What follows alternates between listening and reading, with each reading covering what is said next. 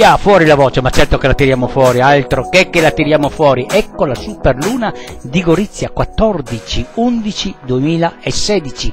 Questa è la luna splendida che la vedrete di nuovo così splendida, così vicino alla Terra fra 32 anni, hanno detto.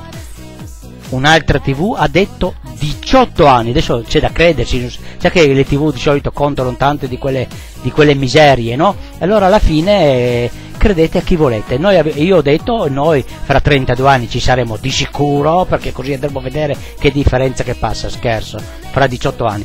Bene, allora devo dire che qua siamo a Gorizia, vi faccio vedere questa bellissima luna che splende in un modo veramente speciale, una giornata splendida ma molto fredda e vi faccio vedere anche il castello di Gorizia sotto questo bel splendido castello e questa luna che splende in questa penombra di Gorizia, fredda, molto fredda, però io ho aumentato i gain così potete vedere benissimo il nostro castello di Gorizia, guardate che bello, un castello favoloso, che qui c'erano i conti coronini, cose, storie veramente super speciali, la Mitteleuropa, oggi non siamo che Mitteleuropa, ci stanno portando via tutto, la provincia e tutte le cose, beh, sentiremo alle prossime.